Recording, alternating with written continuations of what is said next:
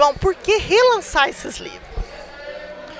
O que nós entendemos, como membro da Academia de Letras do Triângulo Mineiro, é que Mário Palmério ocupa uma posição de destaque no cenário literário nacional.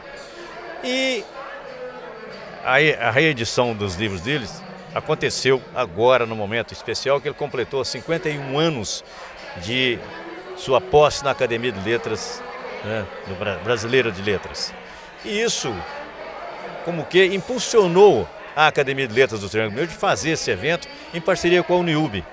Então nós pegamos a causa, fomos para frente e conseguimos fazer de forma triunfal. Você vê que o auditório ficou repleto de pessoas, né? com a sua participação, inclusive como é, é, dona do cerimonial, e nós estamos muito felizes por isso. A academia, seus membros, nós estamos, os membros associados correspondentes, todos é, de forma honrosa. Nós até inclusive agradecemos à Universidade de Uberaba por essa preferência que nos deu.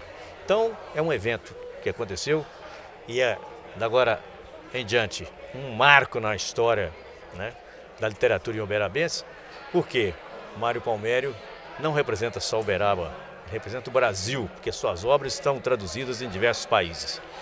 E eu, de minha parte, estou muito feliz, porque eu não merecia tanto. Posso dizer que superou as minhas expectativas e muito. Como que é receber essa homenagem da academia da qual seu pai ajudou a fundar? Ah, é, é muito bonito isso, as pessoas cultivarem as coisas do passado, mas coisas que foram importantes, que foram, deixaram, marcaram a sua época, as coisas da cultura, né? Então, eu acho que essa iniciativa da academia foi muito simpática. Como é que é fazer isso na sua casa, na Casa Cultural da União? Bom, você viu, você viu aquele documentário não sei se você lembra, tem uma fotografia. Tá o papai, a mamãe, eu, desse tamanhozinho e minha irmã.